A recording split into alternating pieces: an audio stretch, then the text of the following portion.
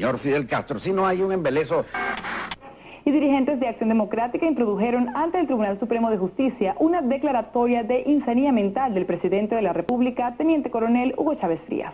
Va llegando el momento en que todos hablemos de la transición, sin Chávez, por supuesto. Hasta el próximo jueves. In the past, Venezuelan governments had imposed heavy censorship on the media. But under Chavez there was now total freedom of expression.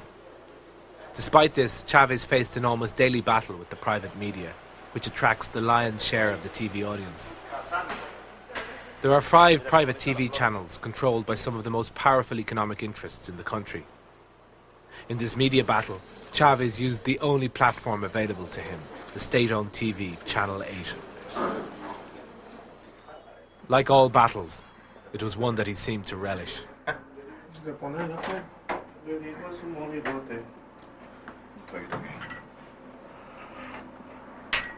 Lo lleva para allá, ¿cómo va?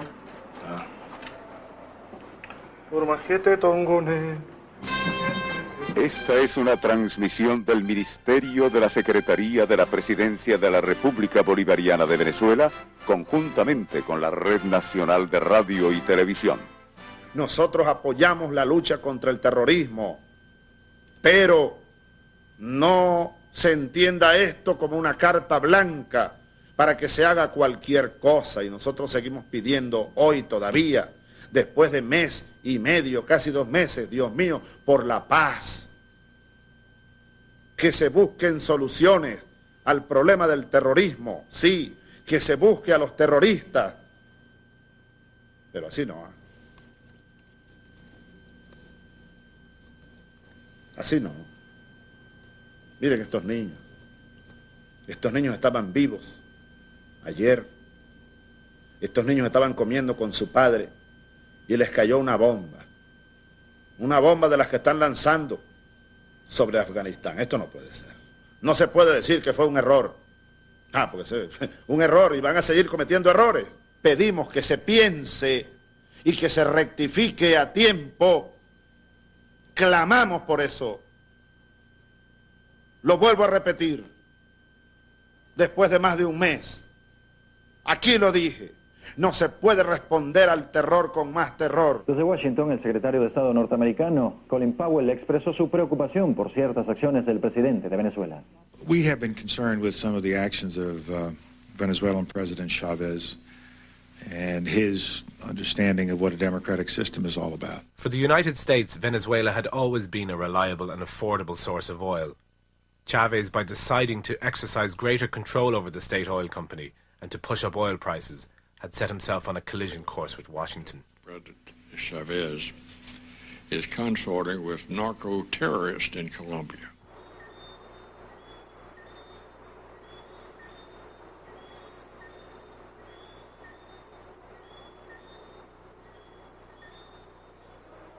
Yo tenía un recuerdo de la infancia que era terrible para mí. Estaban peleando mi abuela y mi mamá. O sea, a mi mamá la estaban regañando, pues. Es que tú eres así porque tú estás enrasada de ese asesino que era tu abuelo, era, era tu abuelo, era un asesino. Y una vez llegó al pueblo no sé qué y bueno, y mató a todos los mandó a matar a todos y les cortaban la cabeza con un machete. Ese abuelo tuyo era un asesino, por eso es que tú eres así, de alzada. Entonces yo, oye, un abuelo asesino. Entonces a mí me entra como una angustia del abuelo. Y yo me fui a buscar al abuelo. Una vez en Ospino, donde él nació, donde creció y donde mató a un hombre, mató a un coronel, porque como dicen en el llano, embarrigonó a Petra. Él embarrigonó a Petra. Y no respondió por la barriga. Había muerto el coronel Pedro Pérez Pérez. Y el muchacho de 16 años lo mató al coronel para salvar la honra de la familia. Y se fue huyendo. Eso fue en 1890 por ahí. 90 y tanto. Y huyendo y huyendo, entra en una revolución. Niño todavía, tenía 17 años, 18 años. eran revolucionarios que se fueron a los montes a caballo con lanzas y machetes a, pelear por, un, por, un, por, una república, por, un, por, el sueño de aquel, de aquel Bolívar que estaba pendiente todavía. Ese era mi abuelo. Va la guerrilla revolucionaria.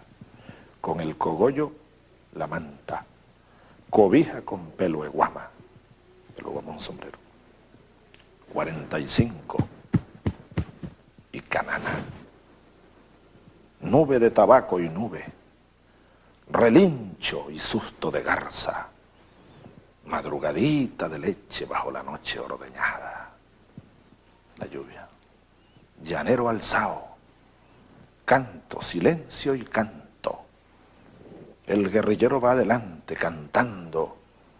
Rumbo de asombros los 40 caballos. Así que yo conseguí esa huella en el tiempo y en el espacio. Y eso me dio mucha energía. Me dio mucha energía. Me da mucha energía. Y además, bueno, ya estoy seguro que no fue un, asesino. Como decía mi bisabuela, que en paz descanse, Marta Fría. Claro que lo decía por, porque estaba confundida, ¿no? Era lo, lo que decía la gente. Que decían algunos, que era un asesino. Era un guerrero, pues. Era un guerrero.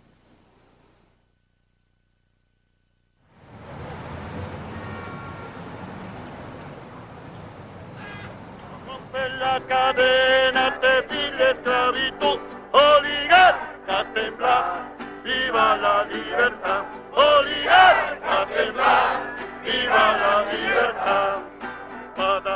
Hasta la victoria siempre, Although Venezuela was witnessing an explosion of grassroots political activity, both amongst those for and against Chavez, this phenomenon was in its infancy and lacked focus. For this reason, Chavez supporters in the hills around Caracas had begun organising themselves into small neighbourhood groups, Bolivarian circles, which focused on community issues and popular education. Yo nunca en la vida había votado. cuando presidente Chávez salió a la luz, este, abrió nuevas expectativas. Entonces nosotros decidimos, bueno, este, vamos a votar por él. La política para nosotros era este, que un, grupo se hacía rico mientras el otro grupo pasaba hambre y por eso no llegaban los recursos. Pero ahora sí queremos saber de la política porque nos interesa muchísimo la política, porque la política es que estamos viviendo ahorita es democrática y participativa.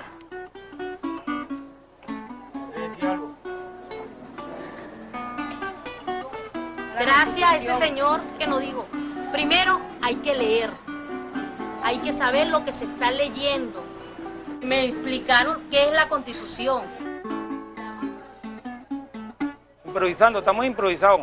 Aquí en el negocio, todas estas cosas, pues estamos enseñando también a que aprendan a leer la constitución, a cómo, cómo se lee la constitución, pues cómo se, se analiza la constitución con los otros gobiernos que teníamos anteriormente, a Ley Copey, eh, eso, le cerraban la puerta a uno para hablar con ellos. No podía uno hablar porque decían, no, no podemos, eh, estamos ocupados, estamos en cámara. Era cámara para ellos, pero no era para la pobreza. Que primera vez en Venezuela tenemos un gobierno que es democrático, un gobierno que nos hace participar, un gobierno que es del pueblo,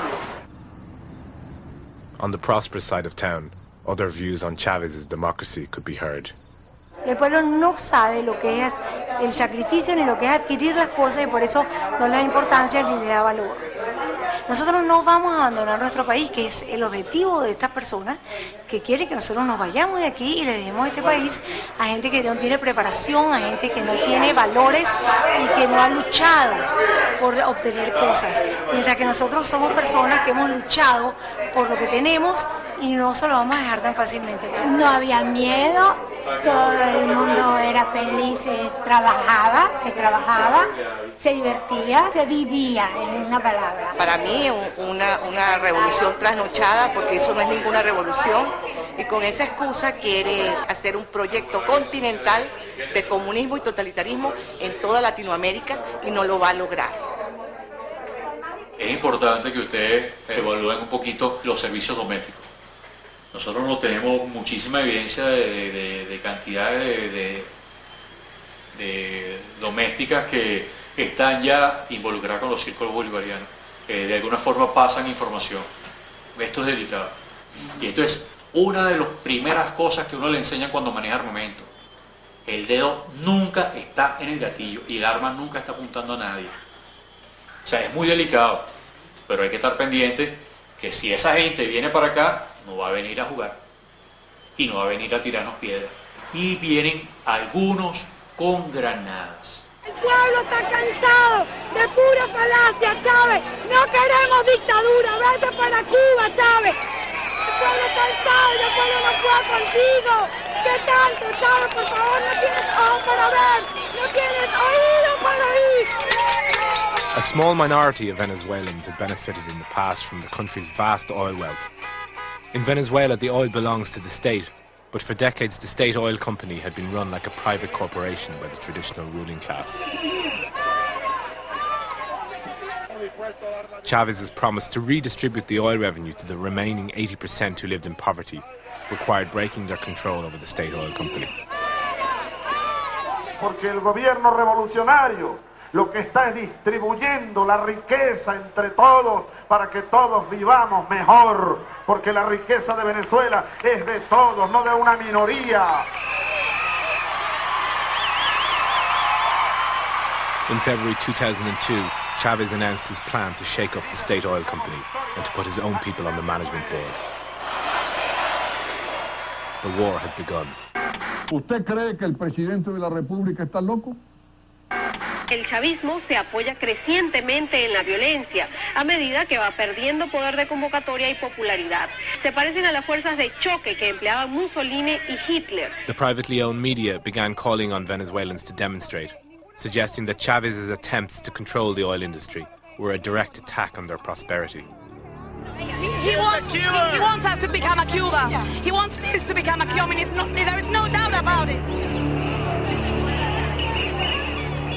At the head of the opposition to Chavez were two key figures Pedro Carmona, president of Venezuela's largest business federation, and Carlos Ortega, head of CTV, a trade union with strong ties to the old political system.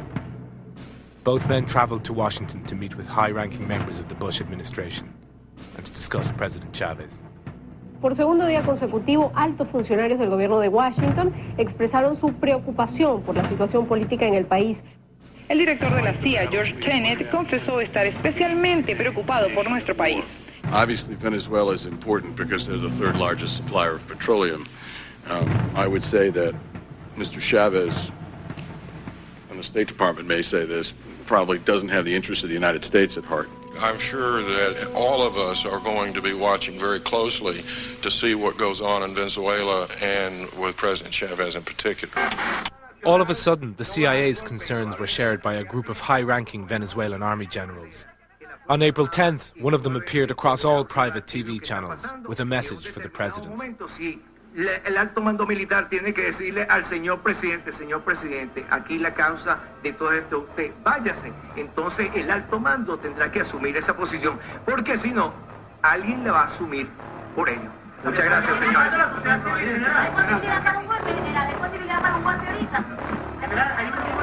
Bueno, las declaraciones del general Néstor González González vienen a reconfirmar que Hugo Chávez es agente al servicio de Fidel Castro y de la guerrilla colombiana. That same day, Carmona called an opposition march to the headquarters of the state oil company.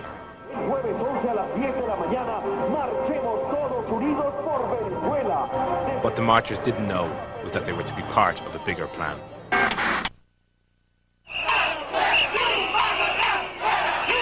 On the morning of April the 11th, the opposition demonstration set out on its march to the state oil company.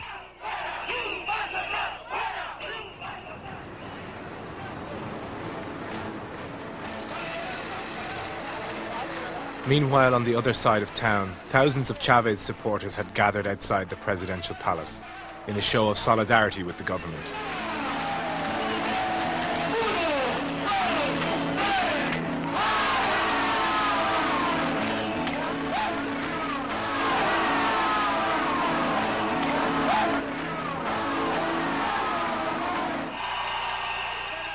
Back at the State Oil Company headquarters, the leaders of the opposition march